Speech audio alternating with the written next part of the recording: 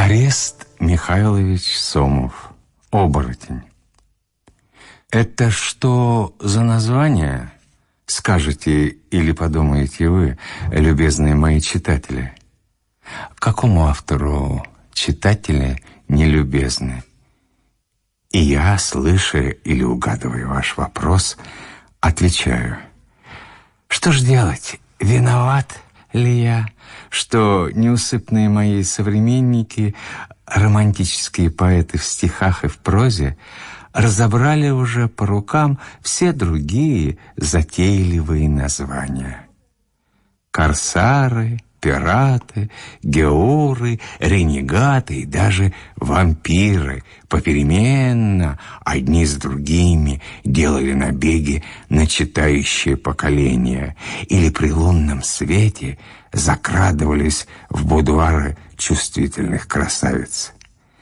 Воображение мое так наполнено всеми этими живыми и мертвыми страшилищами, что я, кажется, и теперь слышу за плечами щелканье зубов вампира или вижу, как от могильного белка адского глаза ренегатого отделяется кровавый зрачок.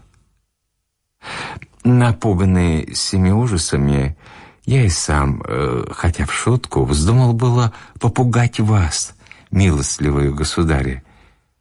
Но как мне в удел не даны ни мрачное воображение лорда Байрона, ни живая кисть Вальтера Скотта, ни даже скрипучее перо де Арлинкора и ему подобных, и сама моя муза так своевольна, что часто смеется сквозь слезы и дрожа от страха, то я, повинуясь свойственной полу ее причудливости, пущу слепо мое воображение — куда она его поведет. Скажу только в оправдание моего заглавия, что я хотел вас подарить чем-то новым, небывалым, а русские оборотни, сколько помню, до сих пор еще не пугали добрых людей в книжном быту. Я мог бы вместо оборотня придумать что-нибудь другое или подменить его каким-либо лихим разбойником. Но все другое, новое, как я уже имел честь доложить вам, разобрано по рукам другими. А в книжных наших лавках залегли теперь такие большие шайки разбойников, не всегда клейменных, по крайней мере, клеймом гения – но всегда печатных, что если бы мыши и моль не составили против них своей Санта-Кармандат, то от них не было бы житья порядочным людям. Я думал написать это вступление в виде разговора кого-нибудь из моих приятелей с кем-нибудь из моих неприятелей, но побоялся, что меня тотчас уличат в подражании – а, признаюсь, мне не хотелось бы прослыть подражателем. Свое, господа мои сподвижники на поприще бумаги и перьев, станем творить свое. Я хочу вам подать похвальный пример, и для того вывожу на показ небывалого русского оборотня. В одном селении. Вы, добрые мои читатели, верно не спросите, как называется это селение, в какой губернии, в каком уезде лежит оно. Удовольствуйтесь же тем, что я вам буду рассказывать, и не требуйте от меня лишнего. Итак, дослушайте ж. В одном селении жил-был старик по имени Ермолай. Все знали, что он умывается росою, собирает разные травы, ходя беспрестанно, что-то шепчет себе в длинные седые усы, спит с открытыми глазами и прочее, и прочее. Чего же больше? Он колдун, и злой колдун. Так о нем толковало все селение. Надобно сказать, что селение было раскинуто по опушке большого дремучего леса, а изба Ермолаева была на самом выезде и почти в лесу. Ермолай сроду не был женат, но лет за пятнадцать до того времени, в которое мы с ним знакомимся, взял он к себе приемыша, сироту, которого все сельские крестьяне называли прежде бобылем Артюшей, а теперь из уважения ли колдуну или по росту и дородству самого детины стали величать Артемом Ермолаевичем. Подлинного его отца никто не знал или не помнил, а и того больше никто о нем и не заботился. А Артем был видный детина, высок, толст, бел и румян, ну, словом, кровь с молоком. И то сказать, мудрено ли было колдуну вскормить и выхолить своего приемыша.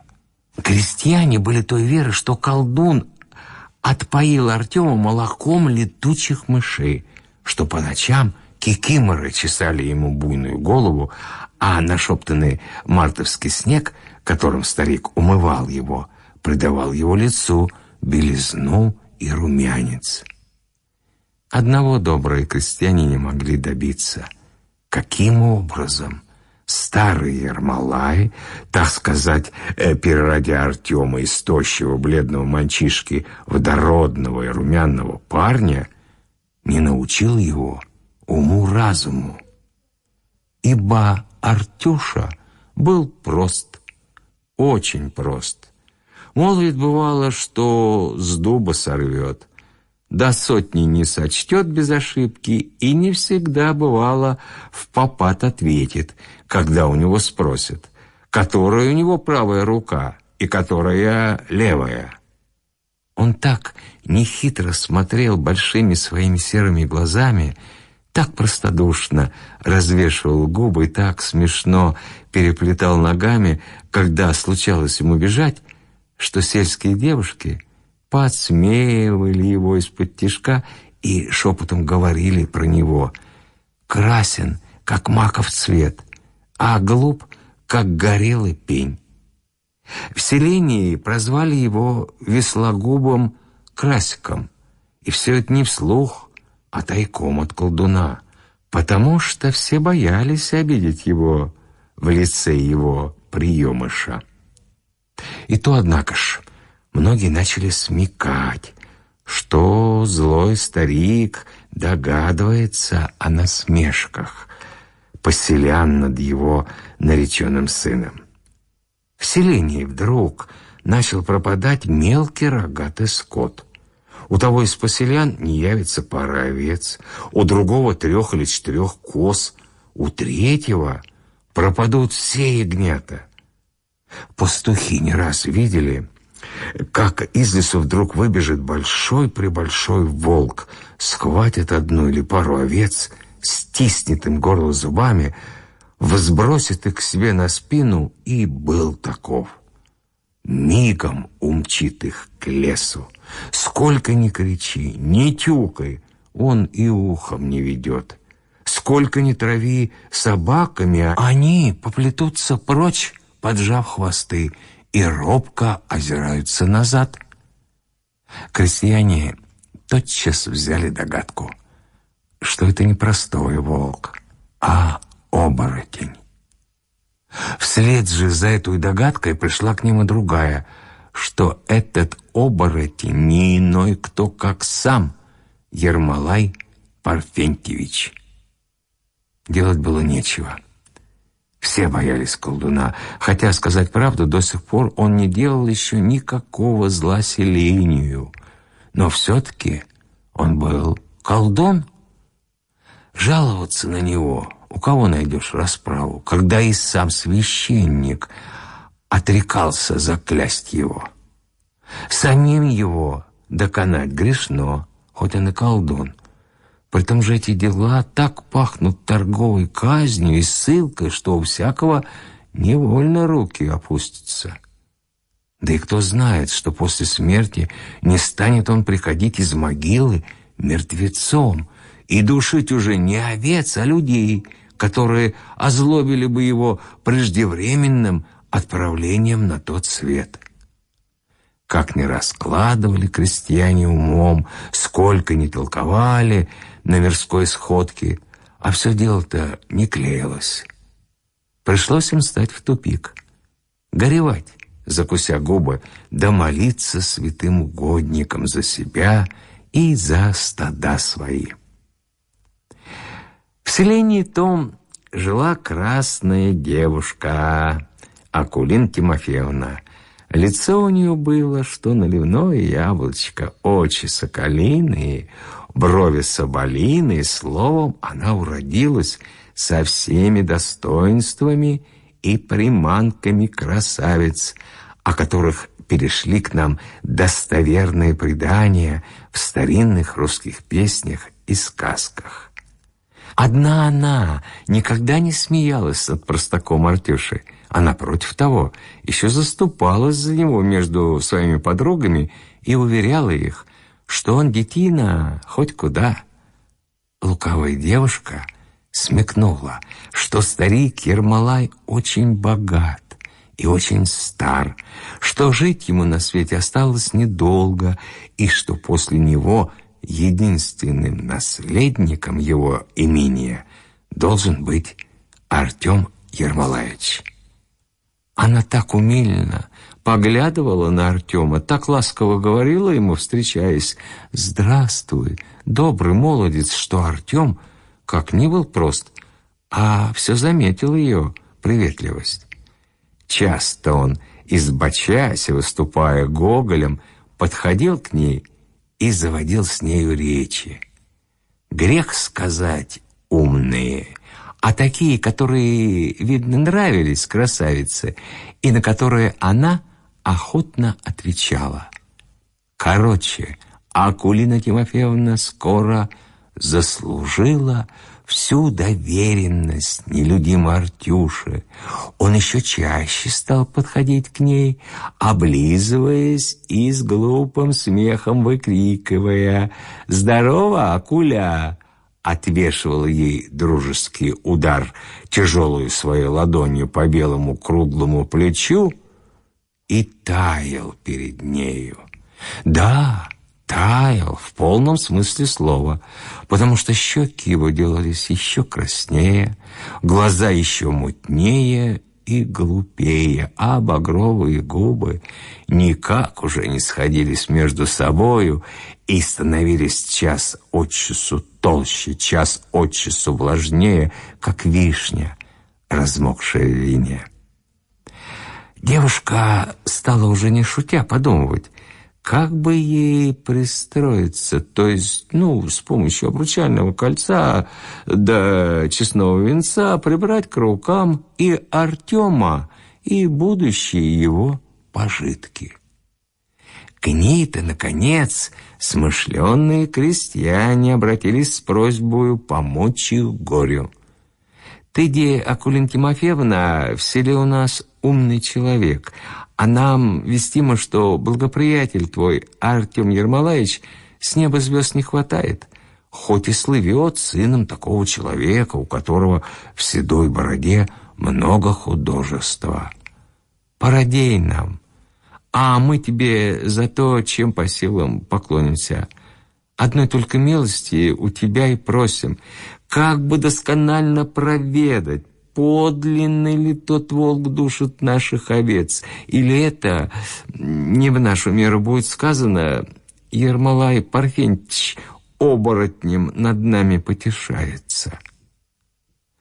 Акулин Тимофеевна молчала несколько времени, покачивая в раздумье головушкой.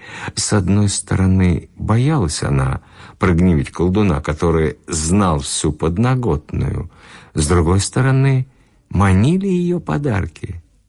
А кто к подаркам-то не лаком? Спросите у стряпчих, спросите у судей, спросите у того и другого.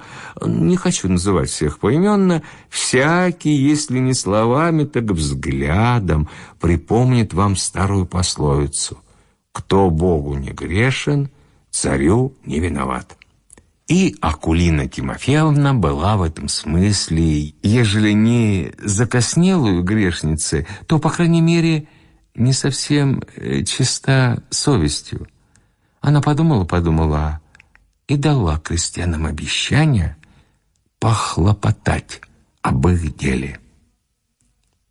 На другой день, встретясь с Артемом, больше прежнего была она с ним приветлива и ласкова, и больше прежнего таял бедный Артем. Щеки его так и пылали, губы так и пухли. Умильно потрепав его по щеке полненькими своими пальчиками, Плутовка сказала ему, «Артюш, Светик мой, молвила бы я тебе, словцо да боюсь, старик твой нас подметит. Где он теперь?» А кто его весть? Вроде себе по лесу, словно леша. Да того вон а, чай дерет лыка на зиму. Скажи, пожалуйста, ты ничего за ним не примечаешь? Вот тебе бог, ничего. А люди и невеста трубят про него, э, что будто бы он колдун, что бегает оборотнем по лесу, да изводит овец в околотке. Полно, моя ненаглядная, инда мне жутко от твоих речей. Послушай меня, сокол мой ясный, ведь тебя не убудет, когда ты присмотришь за ним, да скажешь мне после. Правда ли, нет ли вся та молва, которая идет о нем по селу? Старик тебя любит, так э, на тебя и не вскинется — не убудет меня. Да что ж мне прибудет? А то, что я еще больше стану любить тебя, выйду за тебя замуж, и тогда заживем припеваючи. Ой ли, да что ж мне делать-то? А вот что, не поспи ты ночь, да примечай, что старый твой станет э, кудесить. Куда он, туда и ты за ним.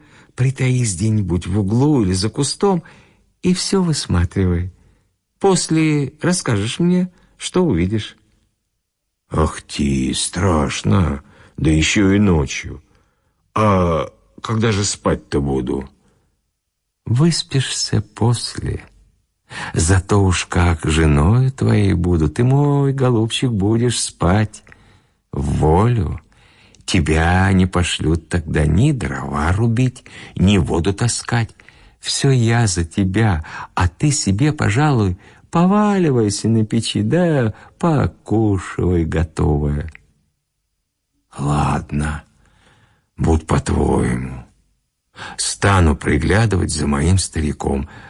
Да скажи, он мне бокат не отлощит? Не бойся ничего, он не узнает. А какова не мера, так я сама принесу ему повинную и скажу, что тебя научила. Ну то-то, смотри же, чур не выдавай меня. Ой, и стать им ли дело, прощай же, дружочек, ин прощай, моя Любушка.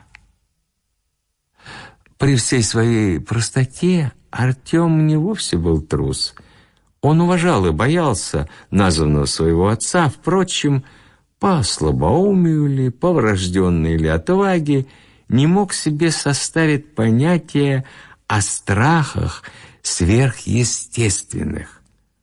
Может быть, и старик, воспитывая его в счастливом невежестве, старался удалять от него всякую мысль о колдунах, недобрых духах и обо всем тому подобном, чтобы не внушить ему каких-либо подозрений на свой счет и не заставить его замечать того, в чем нужно было от него таиться. Наступила ночь.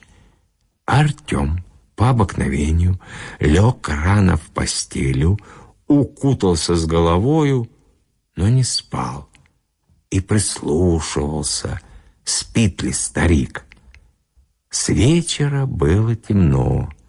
Старик ворочался в постели и бормотал что-то себе под нос. Но когда взошел месяц, тогда Ермолай встал, оделся, взял с собой какую-то вещь из сундука, стоявшего у него в изголовье, и вышел из избы, не скрипнув дверью. Мигом Артем был тоже на ногах, накинул на себя балахон и вышел так же тихо. Притаясь в сенях, он выглядывал, куда пошел старик. И, видя, что он отправился к лесу, пустился вслед за ним, но так, чтобы всегда быть в тени. Так-то и самый простодушный человек имеет на свою долю некоторый участок природной тонкости и употребляет его в дело, когда нужно ему провести другого, кто его посильнее или похитрее. Но довольно о тонкости простаков. Посмотрим, что делает наш Артем. Лепясь вдоль забора, прокрадываясь позать кустов и в случае нужды ползучи по траве, как ящерица, успел он пробраться за стариком в самую чащу леса. Сереть этой чащи лежала поляна, а сереть поляны стоял осиновый пень, вышиною почти в полчеловека. К нему-то пошел старый колдун — и вот что видел Артем из своей засады, которую служили им самые близкие к поляне кусты орешника. Лучи месяца упадали на самый сруб осинового пня, и Артему казалось, что сруб этот белелся и светился, как серебряный. Старик Ермолай — трижды обошел тихо вокруг пня и при каждом обходе бормотал в полголоса такой заговор. На море-океане, на острове Буяне, на полой поляне светит месяц, на осинов пень. Около того пня ходит волк мохнатый, на зубах у него весь скот рогатый. Месяц, месяц, золотые рожки, расплави, ули, притупи ножи, измочаль дубины, напусти страх на зверя и на человека, чтобы они серого волка не брали и теплой бы с него шкуры не драли. Ночь была так тиха, что Артем ясно слышал каждое слово. После этого заговора старый колдун стал лицом к месяцу и, воткнув самую сердцевину пня небольшой ножик с медным черенком, перекинулся через него трижды таким образом, чтобы в третий раз упасть головою в ту сторону, откуда светил месяц. Едва кувырнулся он третий раз, вдруг Артем видит — Старика не стало, а на место его очутился страшный серый волчище. Злой этот зверь поднял голову вверх, поглядел на месяц кровавыми своими глазами, обнюхал воздух, во все четыре стороны завыл грозным голосом и пустился бежать вон из лесу, так что скоро и след его простыл. Во все это время Артем дрожал от страха, как осиновый лист. Зубы его так часто и так крепко стучали один на другие, что на них можно было истолоть четыре гречневой крупы, а губы его впервые, может быть, от рождения сошлись вместе, сжались и посинели. По уходе оборотня он, однако ж, хотя и не скоро, оправился и ободрился. Простота, говорят, хуже воровства. Это не всегда правда. Умный человек на месте нашего Артема бежал бы без оглядки из лесу и другу и недругу заказал бы подмечать за колдунами. А наш Артем сделал, если не умнее, то смелее – как мы сейчас увидим. Он подошел к пню, призадумался, почесал буйную свою голову и после давай обходить около пня и твердить то, что слышал пред сим от старого колдуна. Мало этого, он стал лицом к месяцу, трижды кувырнулся через ножик с медным черенком, и за третьим разом, глядь, вот он стоит на четвереньках. Рыло у него вытянулось вперед, балахон сделался длинную, пушистую шерстью, а задние полы выросли мохнатый хвост, который тащился, как метла. Девясь такой скорой перемене своего подобия и платья, он попробовал молвить слово. И что же? Вместо человеческого голоса завыл волком, попытался бежать. Новое чудо! Уже ноги его не цеплялись, как бывало прежде, друг за друга. Новый оборотень не мог говорить, но не лишился способности рассуждать, то есть столько, сколько он обыкновенно рассуждал в человеческом своем виде. Мне, признаться, никогда не случалось слышать, чтобы оборотни волчьей шкуре становились умнее прежнего. Вот наш Артем остановился и призадумался, как ему употребить в пользу и удовольствие новую свою личину – тут ему пришла мысль, достойная того, в чьей голове она зародилась. Он вспомнил, как часто молодые парни их селения над ним смеялись. «Давай-ка», — думал он, — «посмеюсь и я над ними. Пойду утром в селение и стану бросаться на всякого. Как же это удальцы-то будут меня бояться?» Однако ж прежде попытаюсь-ка я выспаться. В этой шубе будет мне и тепло, и мягко даже на сырой траве. Вздумано, сделано. Наш Артем или оборотень забрался снова в кусты орешника, лег и заснул крепким сном. Долго ли спал он? Не знаю, наверное. Только солнце было уже очень высоко, когда он пробудился. Он встряхнулся, посмотрел на себя, и новый его наряд при дневном свете так показался ему забавен, что смех его пронял. Он хотел захохотать, но вместо хохота раздался такой пронзительный, отрывистый волчий вой, что бедный Артем сам его испугался. Потом, опомнись и видя, что он пугается собственного смеха, он захохотал еще сильнее прежнего и еще громче, и пронзительно раздался вой. Нечего делать.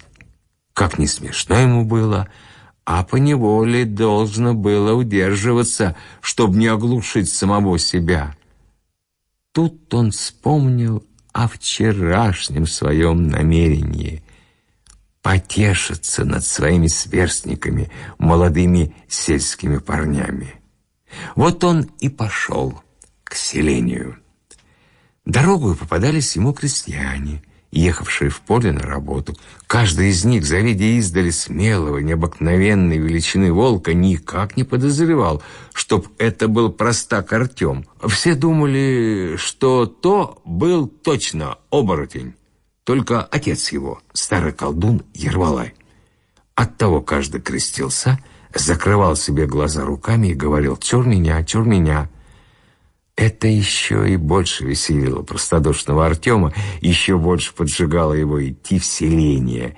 Никогда никто его столько не боялся, как теперь. Какая радость! Да и то ли еще будет в селении. Ой, как все всполошатся! Вскрикнут «Волк!», станут его травить собаками, ускать, тюкать, соберутся на него с копьями и рогатинами, а он и ухом не будет вести.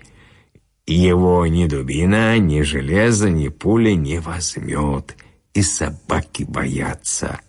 Тот-то потеха. И в самом деле все селение поднялось на серого забияку. Сперва встречные бежали от него. Крестьянки поскорее заперли овец и коз своих в хлева, а сами запрятались в подушки. Все знали, что то был непростой волк. Скоро, однако ж, нашлись удальцы.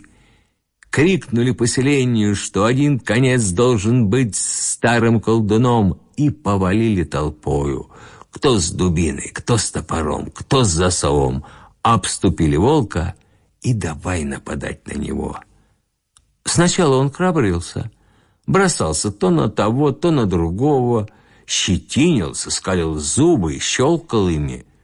Но, наконец, робость его одолела. Он знал, что в силу заговора его не убьют и даже не наколотят ему боков, но могут ощипать на нем шерсть, оборвать хвост, и тогда как он явится к строгому своему отцу в разодранном балахоне и с оторванными полами, а?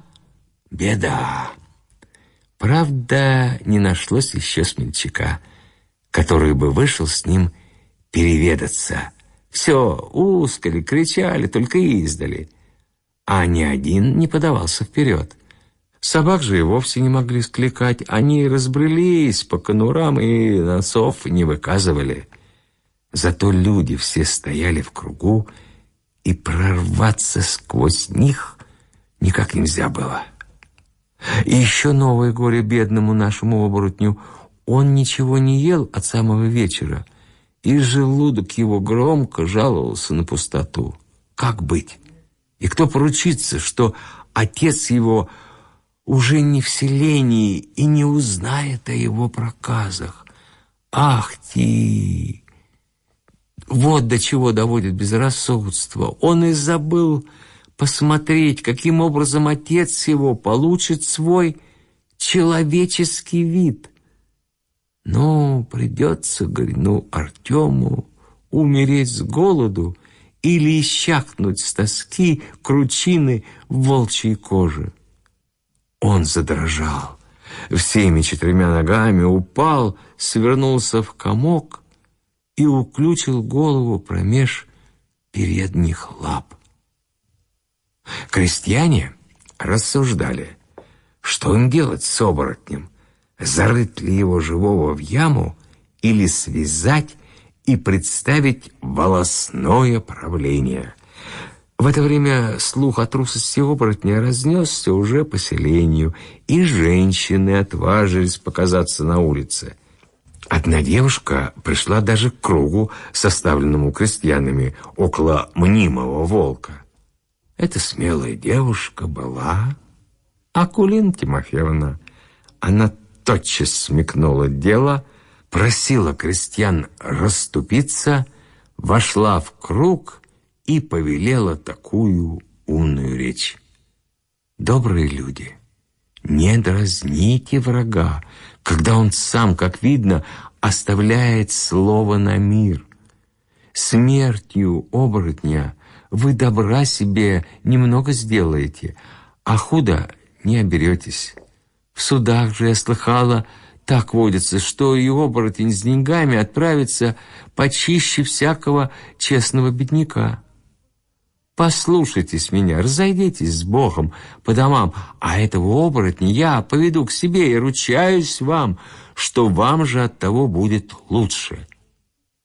Все крестьяне слушали в оба уха и дивились уму-разуму красной девицы. Никто из них не придумал мне того, что она говорила. Они послушались ее речей и расступились в разные стороны. Тут она выплела из косы своей цветную ленту и подошла к оборотню, который в это время потянулся и сам вытянул шею, как будто бы знал, что затевала девушка.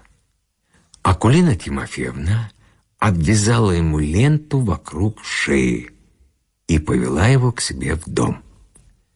По простоте и робости оборотня она тотчас отгадала, кто он таков. Ведя его в пустую клеть, она накормила его, чем могла, и послала ему в углу свежей соломы.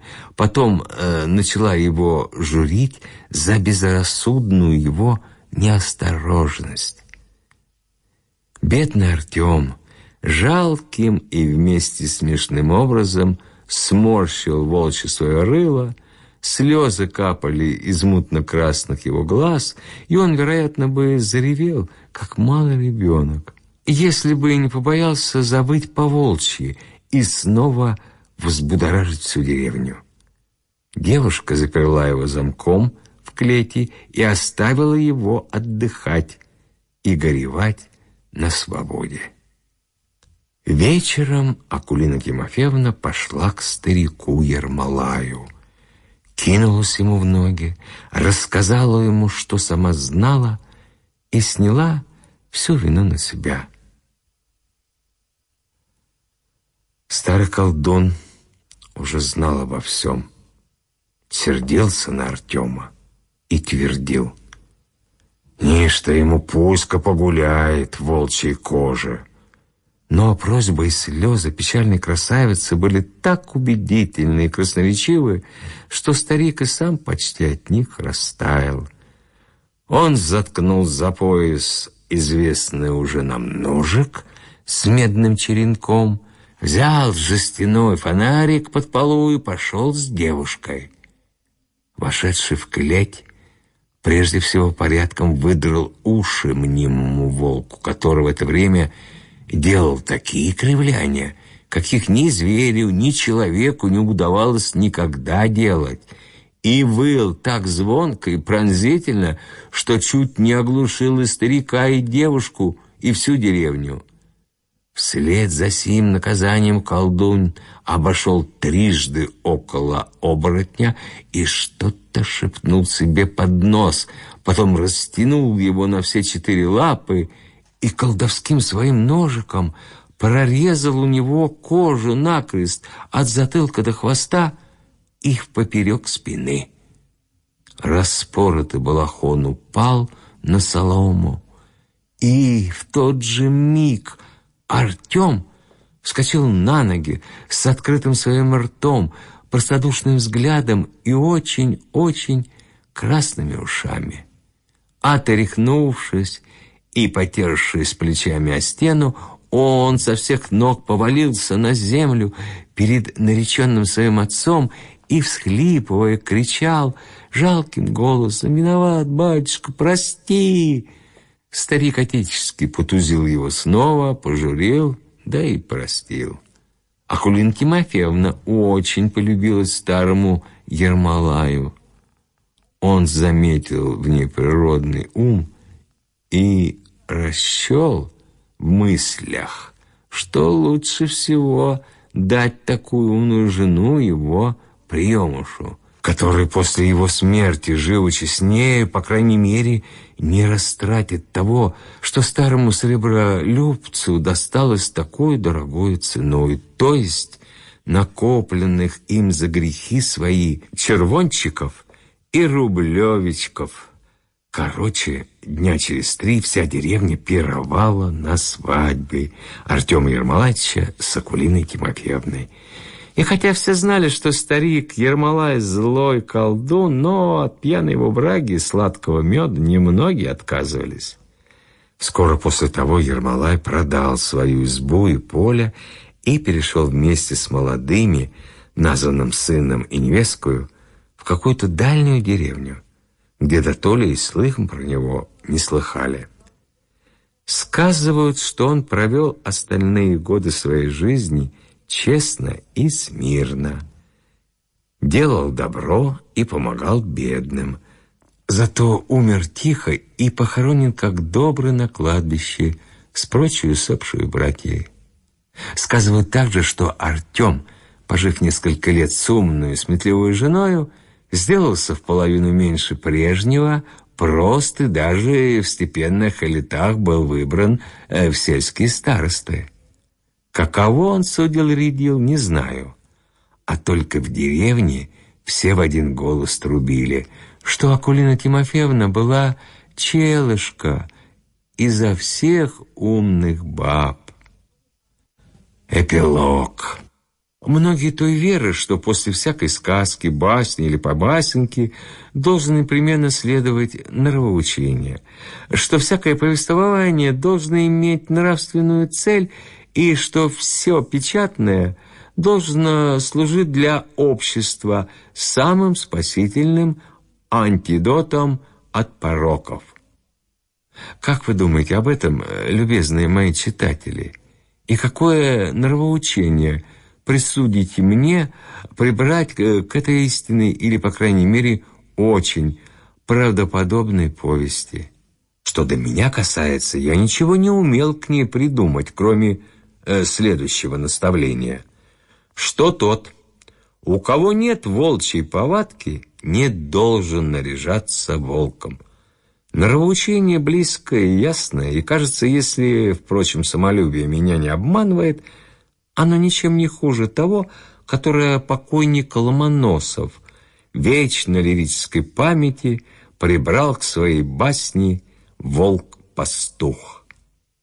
Я басню всю коротким толком хочу вам, господа, сказать, кто в свете всем родился волком – тому лисицей не бывать.